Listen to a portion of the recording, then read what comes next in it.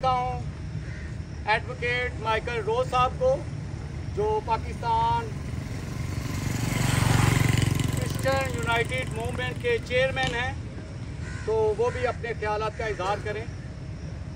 मसीह के ज़िंदा बरकत और जलाली नाम में मेरी तरफ़ से तमाम आए हुए दोस्तों को, मसीही कौम को, और जितने भी नाजरीन आज सोशल मीडिया के थ्रू इस पैगाम को आज सुनेंगे मेरी तरफ़ से आप सबको सलाम।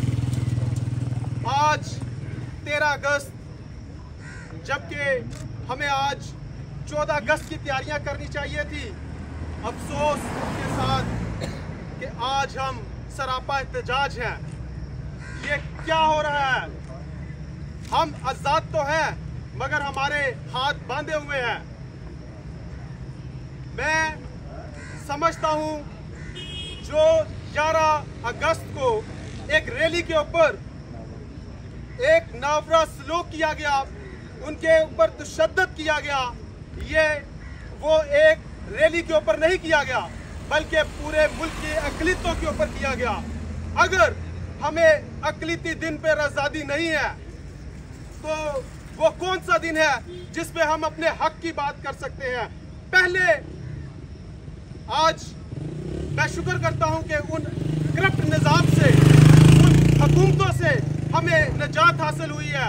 और खुदारा, दुआ कीजिएगा कि आइंदा हुकूमत जो होगी, वो मसीहों के लिए, हिंदुओं के लिए, पारसियों के लिए और तमाम बसने वाली अकलीतों के लिए उनके हक और हकूक की बात करे।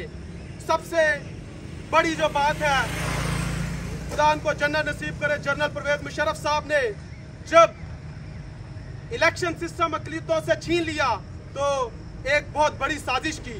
साजिश ये थी कि अकलीतें जो है, वो तादाद में कम हो जाए और इनकी जीनोसाइड किया जाए नस्ल कुशी की जाए, ताकि ये अपने हक और हकूक की बात ना कर सके।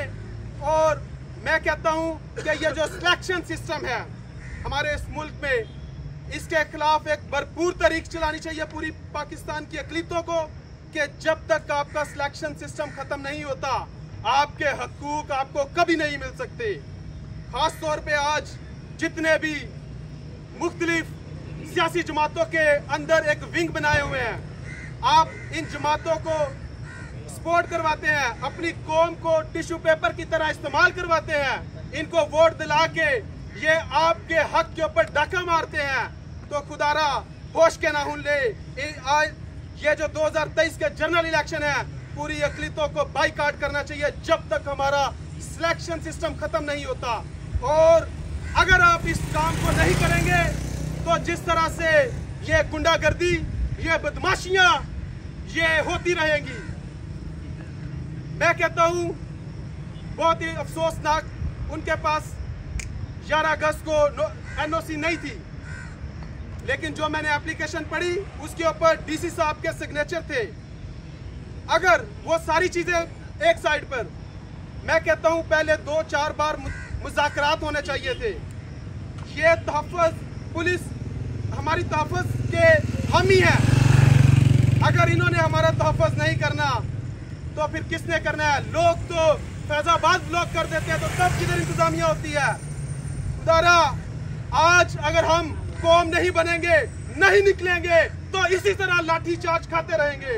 मेरी पूरी कौम से आज सोशल मीडिया के थ्रू इसी प्लेटफॉर्म के थ्रू एक गुजारिश है पूरे मुल्क में एक कौम बने और अपनी आवाज़ के लिए सब इकट्ठे हो ताकि हम अपने हक के लिए लड़ सके। और इस इस ऐसी जो कर दी है ऐसी बदमाशी है इसका मुकाबला करें।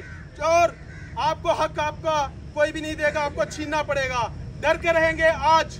मुझे बड़ा बताया गया कि आज आपको भी लाठी चार्ज होगी डंडे पड़ेंगे। मैंने कहा मैं तैयार हूँ। जेल जाने के लिए भी तैयार हूँ। मार खाने के लिए तैयार हूँ। Michael